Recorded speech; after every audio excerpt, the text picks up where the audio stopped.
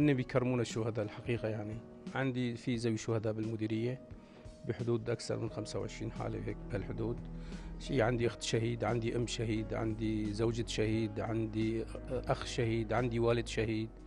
فيتم اللقاء فيهم. والحقيقة بأكد مرة ثانية أني هن بيكرمونا.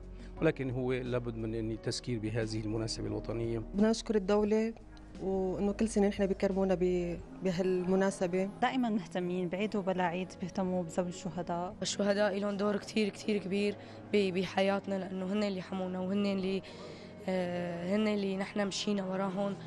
إنه كلياتنا نكون على درب حماية وطننا ونكون بدرب الشهادة. تكريمنا يعني تكريم لأبنائنا الذين ضحوا بأنفسهم كي يحيا الوطن والإنسان. الذين ضحوا بأرواحهم حماية لتراب هذا الوطن.